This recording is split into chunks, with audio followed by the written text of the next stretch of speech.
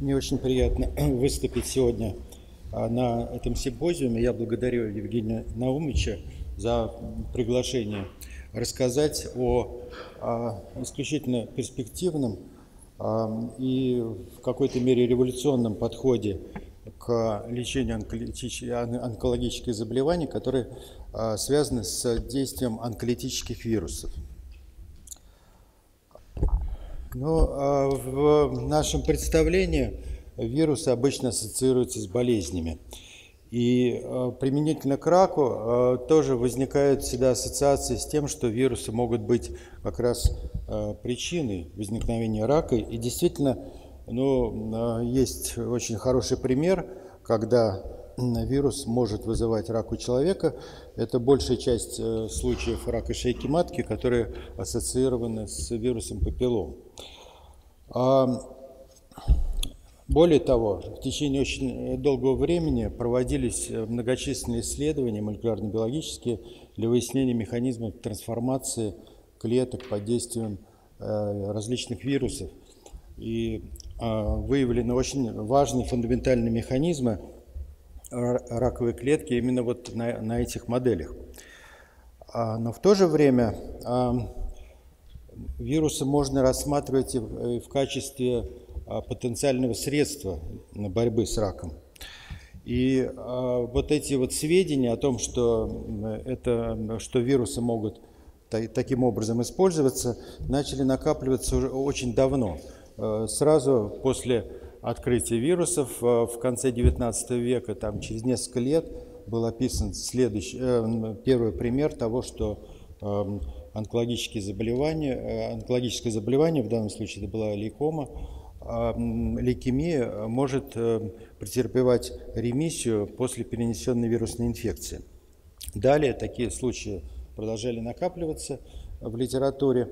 И э, в 20-е годы, когда встал вопрос о том, э, ну, на каких моделях можно эм, культивировать вирусы, было установлено, что как раз раковые клетки – это очень хороший субстрат для эм, продукции вирусов. И э, вот накопившиеся данные позволили в 40-е 50-е годы приступить уже к по первым попыткам эм, применения вирусов в клинике. В Соединенных Штатах, вот в основном в Слоун Кеттеринге, а, проводились эм, довольно широкие исследования, где использовались э, в то время патогенные вирусы для лечения рака.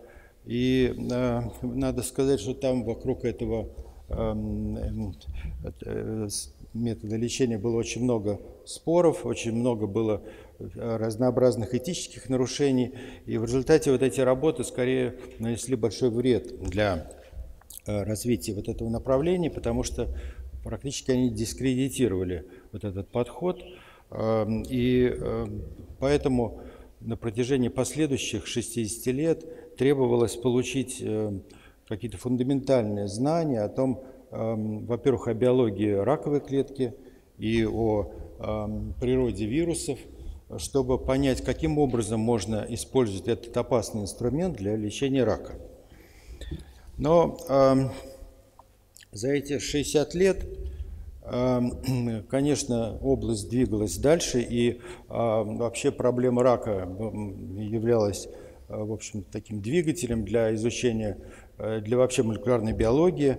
Вот. Э, основная цель этих исследований была установить какие-то наиболее уязвимые свойства раковой клетки, которые можно использовать для специфической терапии то есть э, таким образом э, воздействовать на э, раковую клетку, чтобы не оказывать какое-то повреждающее воздействие на здоровые компоненты организма. И вот здесь приведена схема, взаимствованная из работы, классической работы Ханахана и Вайнберга в 2011 году, где приведены 10 характерных уязвимых свойств, так называемых hallmarks раковой клетки – вот, и э, также показаны основные классы терапевтических таргетных препаратов, которые направлены против того или иного характерного уязвимого места раковой клетки. Но надо сказать, что эта схема далеко не полна. И она э, самое вот э, главное, что здесь отсутствует, на мой взгляд, это очень такое характерное свойство раковой клетки – это чувствительность э, к вирусам. Вот э, я дополнил эту схему одиннадцатым свойством. Это значит, чувствительность, э, то есть раковая клетка приобретает достаточно закономерно и в большей части большая часть раковых клеток приобретает особую повышенную чувствительность к вирусам. В данном случае онколитическим вирусам я расскажу, чем отличается обычный вирус от онколитических, но в целом а, раковая клетка чувствительна к большинству вирусов. А, немного о механизмах, почему а, так происходит. Но вообще вот э, для того, чтобы заразить клетку в организме, вирус, вирусу требуется преодолеть э, достаточно много барьеров. Во-первых, это Э, общие барьеры, такие как кожа, слизистые. А потом следующий барьер – это эм, необходимость вируса распространиться э, по организму. А следующий барьер – это эм, э, вхождение в клетку. Для того, чтобы вирус вошел в клетку, требуется определенный рецептор, с которым вирус связывается и без которого он не может проникнуть внутрь. Ну и далее, самый главный барьер – это барьер, связанный с врожденным иммунитетом. В ответ на вирусную инфекцию клетка начинает вырабатывать противовирусные белки, э, в частности интерфероны, которые а, действуют и на саму зараженную клетку, и на окружающие клетки, и вызывают в них так называемое противовирусное состояние. И в результате этого клетка а, не реплицирует вирус, и вирусная инфекция затухает. Но в каких-то случаях все-таки происходит преодоление вот этого барьера, и тогда, собственно, происходит э, репликация вируса, которые часто связаны с заболеваниями.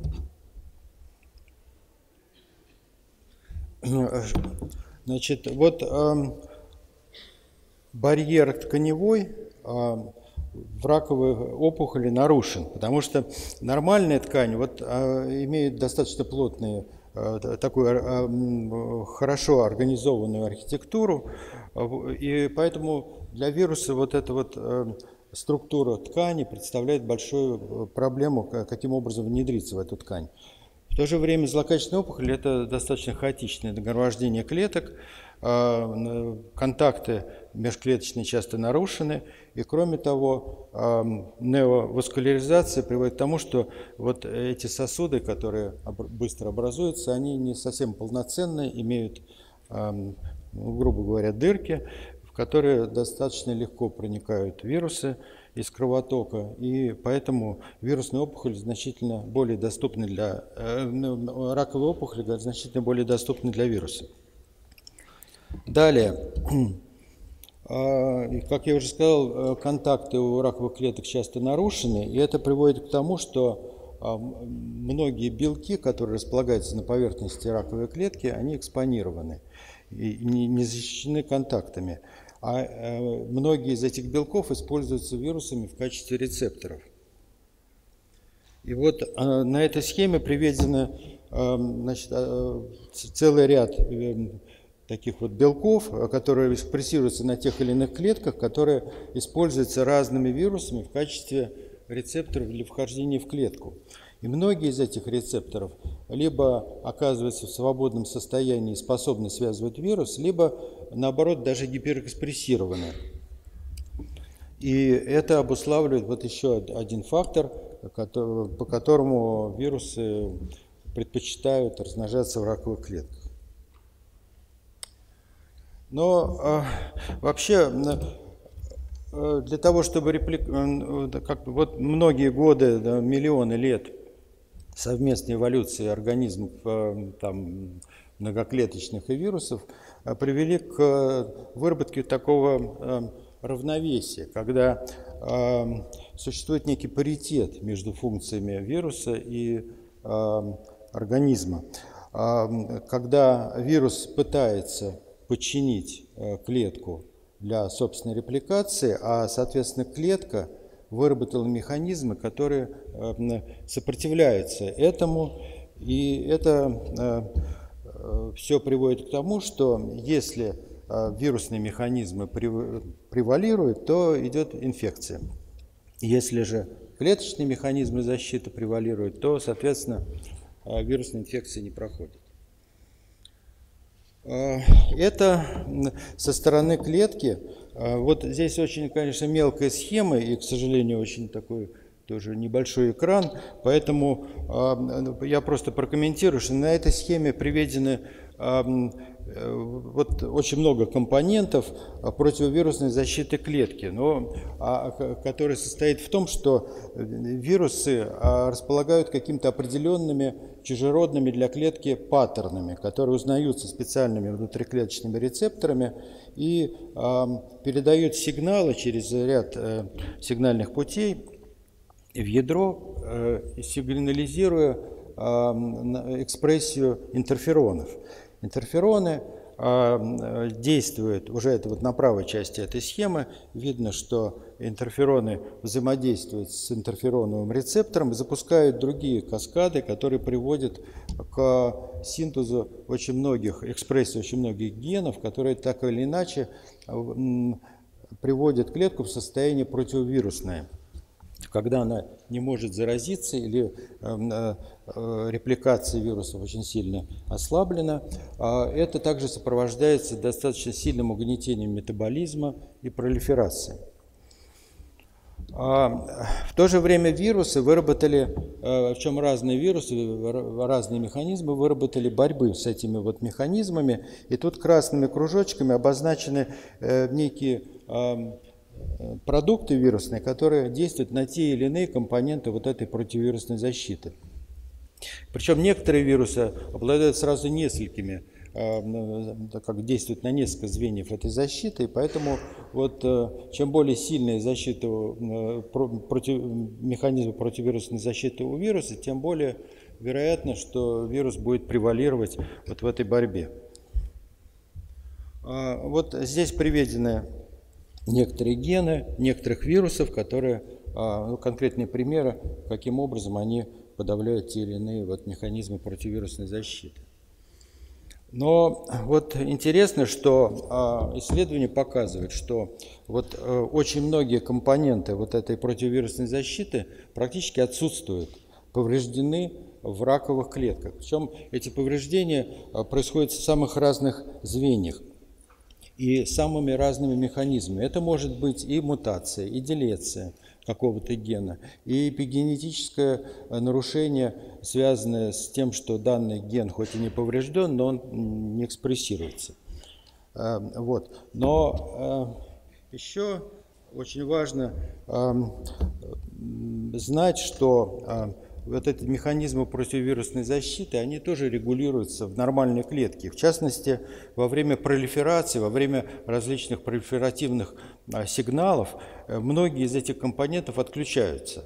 И это э, связано с тем, что вот эти механизмы, они практически тормозят пролиферацию, тормозят очень многие физиологические процессы в клетке.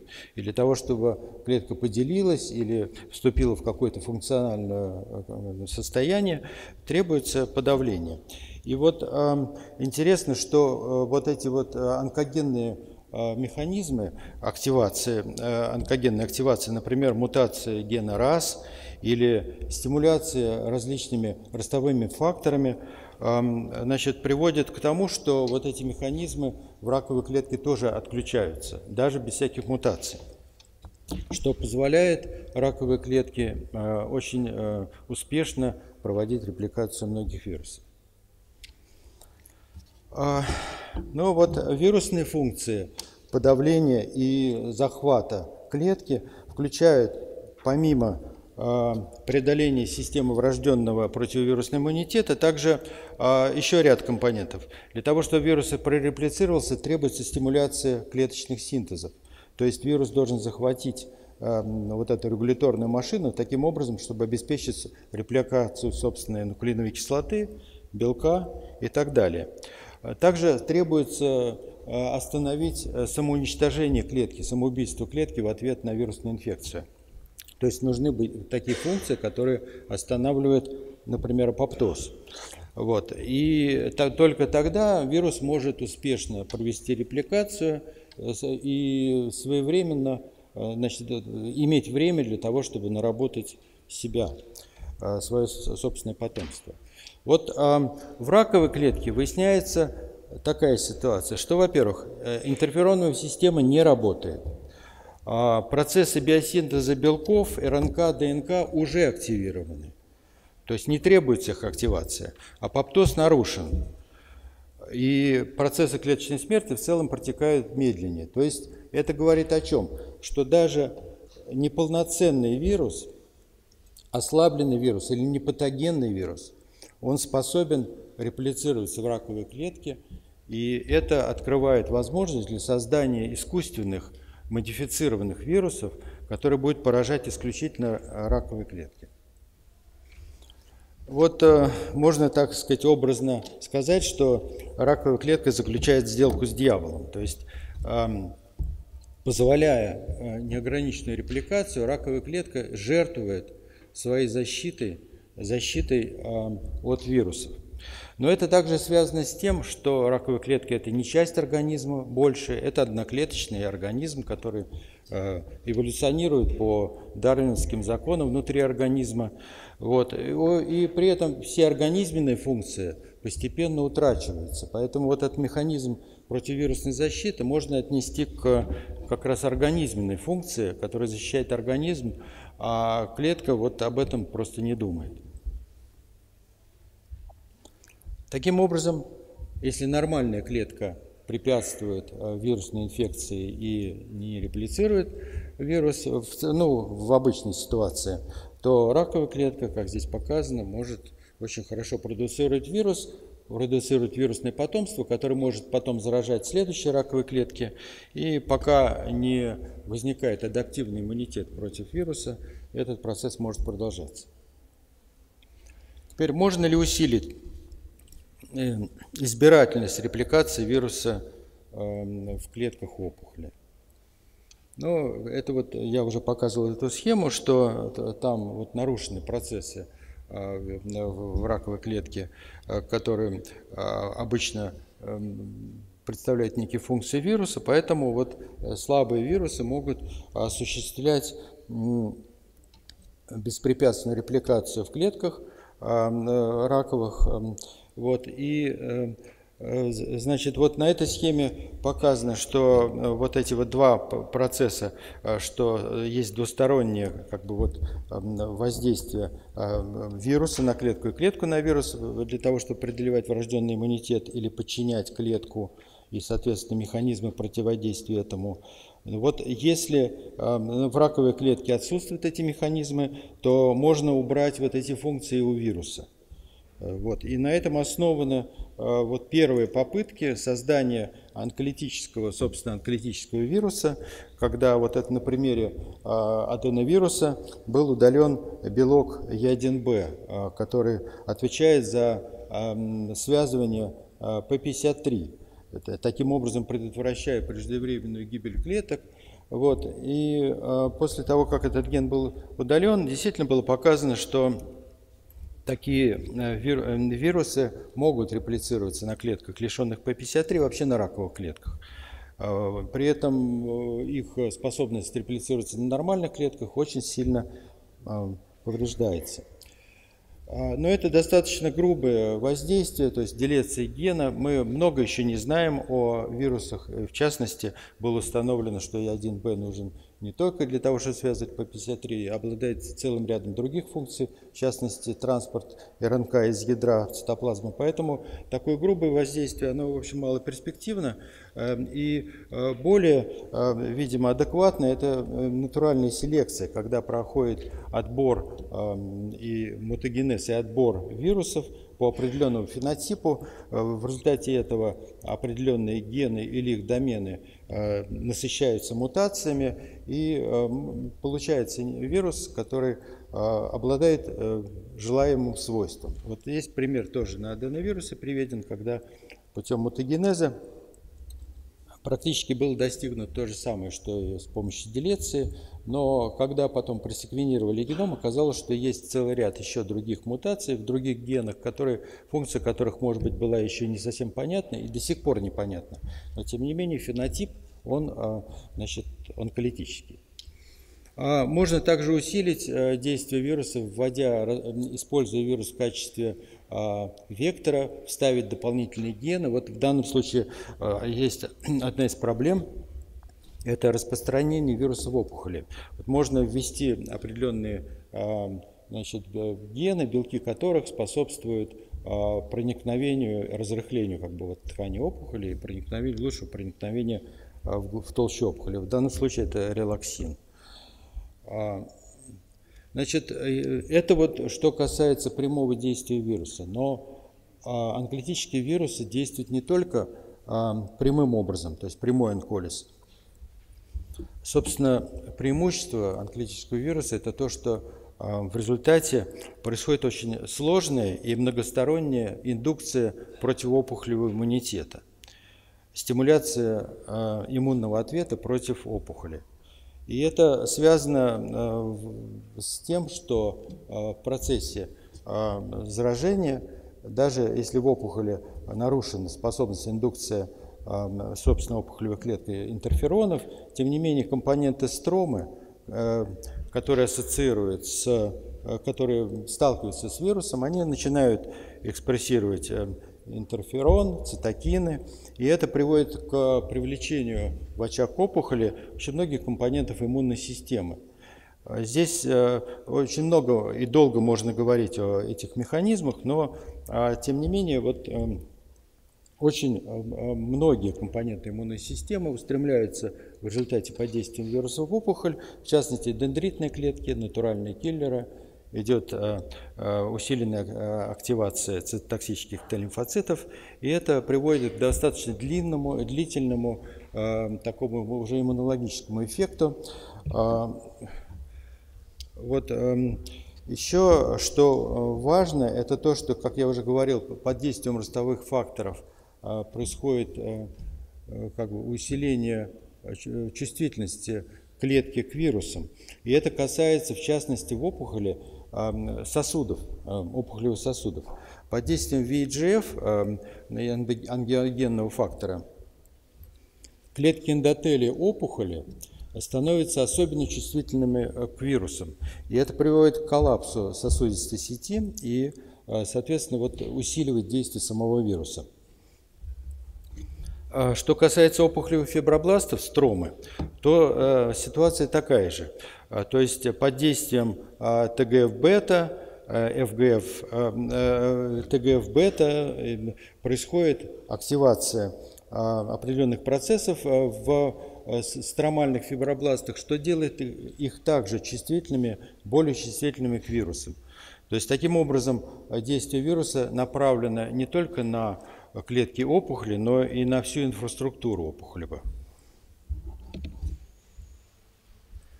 Вот тут показано такой вот э, на этой картине э, вот такое многостороннее действие вируса, когда э, с одной стороны идет значит, деструкция самих опухолевых клеток, также идет активация под действием гипоксии в опухоли VEGF. VEGF, в свою очередь, делает уязвимыми клетки эндотелия.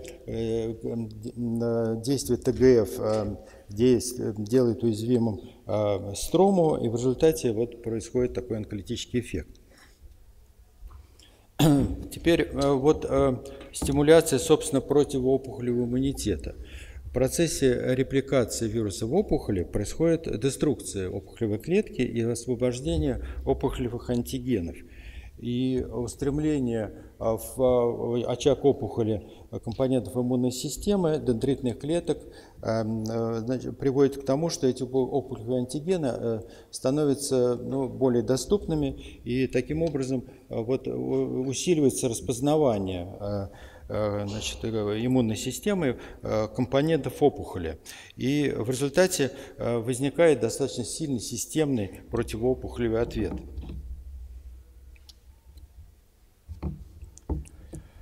Значит, вот на этой схеме э, я хотел бы прокомментировать также вот пути, каким образом можно провести, уси, э, провести усиление вот э, свойств вируса и сделать их еще более эффективными онколитиками.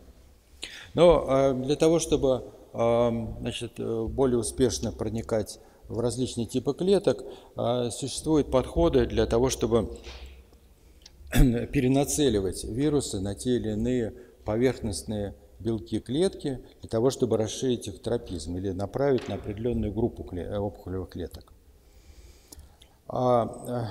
Э, также а, существует очень много подходов, а, изощренных достаточно, для того, чтобы сделать э, вирусы более пригодными для репликации именно в опухолевых клетках. Это и использование определенных опухолеспецифических промоторов, вот, и а, значит, введение различных а, трансгенов, а, то есть генов, которые усиливают действие вируса, также различных онкотоксических белков, иммуномодуляторов, даже компонентов антител. То есть все это приводит к тому, что сейчас вот эта область создания онколитических вирусов продвинулась достаточно далеко и существует, в общем-то, сотни различных таких эм, инжени... Э, созданных уже онколитических вирусов, которые находятся на разных стадиях э, значит, испытаний, доклинических и клинических. И, наконец, эм, очень перспективным является даже создание полностью синтетических вирусов, которые э, можно просто написать их структуру, провести определенную оптимизацию этой структуры, вставить нужные компоненты, убрать ненужные компоненты и э, после этого смотреть, каким образом они будут э, значит, э, действовать. Значит, вот один пример онколитического вируса, который в прошлом году был утвержден в Соединенных Штатах FDA. Это онколитический вирус герпеса, так называемый ТИВЕК или а, который имеет две а, делеции, которые одна из этих делеций снимает э, нейровирулентность и усиливает онкоселективность, особенно в клетках, в которых активирован онкоген РАС. Другая делеция, значит, она подавляет презентацию антигенов комплексом MHC класс 1 и усиливает иммуногенность опухоли. Кроме того, в этот вирус введен ген GMKSF, а, вот, что усиливает его иммуно, иммуногенные свойства. Вот. И этот вирус а, сейчас разрешен для применения а, в отношении меланомы. Он прошел уже все фазы клинических испытаний, но пока еще нет э, каких-то вразумительных клинических данных о том, насколько он эффективен. Вот э, на этой схеме приведено достаточно много вот, э, различного типа онколитических вирусов, которые про проходят те или иные фазы клинических испытаний. Видно, что это, эм, э, эти вирусы включают самые разные э, семейства вирусные. Это и аденовирусы, и герпес-вирусы, и парвовирусы, и вирус осповакцины, вирус кори, вирус болезни Ньюкасла, энтеровирусы типа полиовируса, коксаки, эхо, реовирусы, вирус визикулярного стоматита, а, вот, э, вирус миксомы а, и так далее. То есть э, практически большинство литических вирусов используется э, и испытывается в качестве онколитиков. Основные проблемы, которые требуют решения. Вот существует, конечно, масса проблем, связанных с онколитическими вирусами. Вот одна из этих проблем – это проблема доставки. Потому что если ввести в кровоток вирус, то он достаточно быстро отфильтровывается клетками ретикулоэндотелиальной системы и до опухоли э, доходит очень плохо. Одним из подходов для решения это использование клеточных носителей, так называемый э, метод троянского коня, когда можно заразить чувствительную клетку вирусом, вирус таким образом как бы становится невидимым для иммунной системы. Какое-то время он пока реплицируется в этой клетке, иммунная система его не видит. В это время можно клетку ввести в кровоток, а, и когда вирус начинает выходить, эта клетка может оказаться вблизи опухоли. Причем э, используют самые, э, испытывают самые разные клеточные носители. Это и иммунные клетки, это и стволовые клетки, это также различные инженерные клетки, которые создаются с определенными свойствами. То есть это такая большая область сейчас для исследований. Теперь вот сочетание вирусов тоже сейчас активно с другими типами Э, противоопухолевой терапии а, активно также испытывается. Но вот а, один из э, таких подходов – это использование различных цитотоксических химиотерапевтических препаратов, когда показано, что небольшие дозы этих цитотоксических препаратов приводят к тому, что нарушаются сосуды э, питания опухоли, и эм, при этом онколитический вирус более эффективно действует. Также вот в последнее время э, вы знаете, что очень модными стали и вообще эффективными это ингибиторы чекпоинтов иммунных, в частности вот ингибиторы PD-1, PDL1, вот, и в сочетании с вирусом это также оказалось э, достаточно эффективным. Вот, в частности, вот кейтруда, которая является ингибитором PD1, она подавляет а, практически вот э, способность опухолевых клеток выключать э, цитотоксические Т-лимфоциты, вот. Но блокирование кейтруды эм, приводит к тому, что иммунный ответ, индуцированный вирусом, очень сильно э, усиливается, и эффект на самом деле очень хороший получается. То есть это достаточно перспективный подход. И э, сейчас также рассматривается вопрос, что можно даже вот эти вот антиген-связывающие участки вводить э, в виде генов сам вирус, с тем, чтобы вирус уже сам обладал способностью секретировать вот эти вот ингибиторы чекпоинтов, и таким образом ну, действует уже более, так сказать, без, без, добав без всяких добавок. Вот, а также какую стратегию выбрать, э, предположим, для введения вируса. Можно вводить вирус, а, собственно, в опухоль, и тогда, как это показано, это вызывает лучшую вот, э, стимуляцию иммунитета противоопухолевого, а можно вводить э, в кровоток. И это приводит к более быстрому проникновению в метастазы отдаленные. Но при этом достаточно быстро также возникает адаптивный иммунитет против вируса и, соответственно, угасание этой вот э, вирусной инфекции. Вот этот вопрос тоже требует проработки, и, по-видимому, он еще зависит от типа вируса, который используется для терапии. Еще одна проблема – это цитокинового шторма, так называемого. То есть э, иногда применение вируса сопровождается неконтролируемым э, выбросом провоспалительных цитокинов – приводящих к ахексии и другим нежелательным последствиям. Поэтому этот вопрос тоже требует пристального изучения для того, чтобы разработать схемы, которые позволяют избежать этого состояния. Также важно удаление основной массы опухоли, чтобы при начале лечения не было слишком большой опухолевой нагрузки, которая э, может сопровождаться вот таким штормом. Э, проблема индивидуальной чувствительности опухоли. Вот это вот очень большая проблема, потому что а, когда начинают, уже доходят до там, клинических испытаний, выясняется, что если на часть пациентов э, вирус очень хорошо действует, очень хороший эффект, то на другую часть он может вообще никак не действовать, и это связано с индивидуальной чувствительностью опухоли пациента, потому что опухоли, они очень разнообразны, вот, и поэтому э, перспективным является поиск э, каких-то маркеров предсказания чувствительности к тому или иному вирусу. Причем, если опухоль не чувствительна к одному вирусу, это не значит, что она будет нечувствительна к другому вирусу, потому что, а, так сказать, вот вирусы тоже используют разные механизмы для преодоления клеточных каких-то барьеров. Вот, поэтому тут вот требуется очень э, много дополнительных исследований. А, вот. Теперь я очень быстро хотел бы пройтись по некоторым клиническим примерам а, э, использования вирусов. Конечно, их не так много, но есть вот достаточно интересные. В частности, вот для глиобластомы, которые, в общем-то, в общем-то, является огромной проблемой, как вы знаете. Да? Вот э, лечение глиобластомы с, э, с помощью вируса болезни Ньюкасла. Здесь вот показано до начала лечения э, достаточно большая опухоль, да, и вот через 30 недель практически опухоли уже нет. А, значит, вот э, тут это совершенно замечательный случай.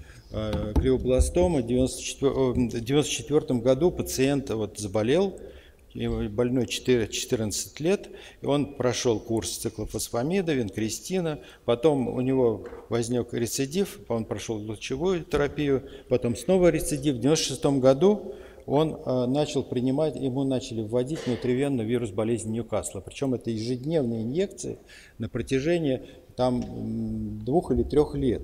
Это, конечно, избыточно совершенно, но, в общем, э, и дорого, и не, не обязательно надо так много вводить, но, тем не менее, вот такой режим был. И вот, э, значит, в 98 году видно, что уже опухоли практически нет, там дырка, извиняюсь, в мозгу, но, а, значит, больной в 2012 году был еще жив. То есть это в данном случае уже практически была монотерапия вирусом болезни Ньюкасла в очень э, развернутой форме глиобластомы. И это также навело на мысль, что поскольку при глиобластоме огромная проблема – это стволовые клетки, которые э, ускользают обычно от лечения, так значит вот в этом случае стволовые клетки вирусом уничтожались. И сейчас существует эм, исследования, которые говорят о том, что очень многие вирусы, именно вот они хороши для уничтожения Э, опухоли инициирующих стволовых клеток. Потому что стволовая клетка оказывается, в отличие от, от многих э, химиотерапевтических средств э, и таргетных препаратов, оказывается уязвимой перед вирусом. Вот, значит, это тоже глиобластома, лечение онколитическим вирусом герпеса. Значит, здесь было однократное введение 120 микролитров, стереотоксическое. Вот, э, достаточно низкого титра э, вируса э, герпеса онколитического. И видно, что через 6 лет мы не видим опухоли. А, значит, еще один пример – это онколитический вирус на основе вируса оспа вакцины. В данном случае это рак печени, лечение, а, и тоже показано вот э, через 21 месяц отсутствие опухоли и э, значит, э, в отдаленных неинъецированных участках тоже видно, что происходит онколитический эффект. А, вот это лечение множественной миеломы вирусом кори штамм, штамм Эдмонстон. Вот, и тоже видно, что а, значит, вот достаточно эффективное лечение. Еще один пример – это ТИВЕК, вот, который сейчас утвержден в Соединенных Штатах э, при лечении меланомы. Вот кожные повреждения, значит, через три месяца видно отсутствие, эффект, э, отсутствие поражения. Но самое э, главное, что было два метастаза в печени, которые через 8 месяцев тоже отсутствуют хотя туда не вводили вирус. То есть это системный эффект. Еще один пример – это э, э, энтеровирус Каватак, это Коксаки вирус 21 э, типа. Вот тоже видно, что эм, он эм, действует дистанционно, даже в том участке, в который не вводился вирус, наблюдается достаточно хороший эффект. Ну и, наконец, вот я хотел бы сказать, что вот в Латвии, Латвия была первой страной, в которой разрешили первый онкологический вирус, это называемый регвир, который сейчас применен для применения, разрешен там для применения в, для лечения меланомы. Вот а, они сообщают о достаточно хороших э, данных вот, в пятилетней выживаемости. Вот, многие, правда, оспаривают эти э, результаты, но тем не менее, в общем, э, этот препарат сейчас в Латвии Э, широко используется. Это, там приезжают туда, в эту клинику больные для лечения вот этим регвиром. Вот. Но э, надо сказать, что, конечно, лечение одним вирусом – это достаточно малоперспективная вещь. И тут надо, конечно, более, так сказать, серьезно подходить, потому что так же, как и к э, другим средствам, э, все-таки раковые клетки вырабатывают устойчивость тоже и к вирусам, особенно к вирусам, которые проникают через специфический рецептор. Потому что рецептор можно убрать. Раковая клетка убирает рецептор, возникает рецидив. А, значит, и поэтому вот эм, э, очень э, важно для того, чтобы этот э, метод пошел дальше, разрабатывать э, такие вот стратегии, которые позволят его успешно применять. Но, по-видимому, надо использовать э, сочетание вирусов и сочетание значит, предварительной диагностики, то есть определять, к какому набору вирусов пациент может быть чувствительным, и после этого применять панель вирусов последовательно или в сочетании, также, естественно, в сочетании с какими-то другими адъювантными терапевтическими средствами. В заключение я также хотел сказать, что, может быть, высказать такую ну, очень необычную идею, но возможно, что сейчас это э, звучит фантастически, но это может реализоваться в будущем. Дело в том, что основная проблема рака – это проблема устойчивости к э, терапии. Терапевтические средства, все терапевтические средства статичны, они не меняются, а раковая клетка меняется. Вирус – это организм, и он меняется также, может меняться также очень быстро.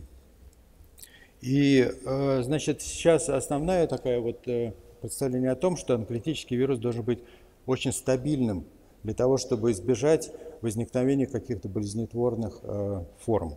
На самом деле это неправильно, потому что вполне можно создать такой вирус, который в принципе не может стать болезнетворным. Если удалить из него э, гены, которые ответственны за вот эту вот болезнетворность, то требуется миллионы лет для того, чтобы их создать, эти гены. В то же время вирус может нацеливаться в результате своей изменчивости на новые мишени, в том числе раковые клетки, которые э, утратили какой-то, предположим, рецептор. И для того, чтобы такой подход разработать, требуется усиление, наоборот, его нестабильности. И существуют подходы, э, каким образом можно усилить э, нестабильность вируса, э, не, не влияя на, а, предположим, стабильность клеток в организме. Например, использование противовирусного препарата рибовирина, который значит, акцептируется полимеразами э, вируса, но не акцептируется полимеразами клетки. Э, и такая дестабилизация вируса может, в принципе, приводить к тому, что уже в опухоли пациента э, эта эволюция вирусов будет проходить таким образом, что она будет перенацеливаться на, эм, на ранее нечувствительные компоненты в опухоли. В общем, использование живых систем в терапии рака – а, кажется сейчас а, очень сложной задачей, но очень перспективной задачей. И поэтому я думаю, что вот лет через 20, через 15-20 лет, возможно, вирусы станут, и даже не вирусы, а вернее живые системы на основе вируса, принципов вируса могут стать основой для терапии будущего. Спасибо.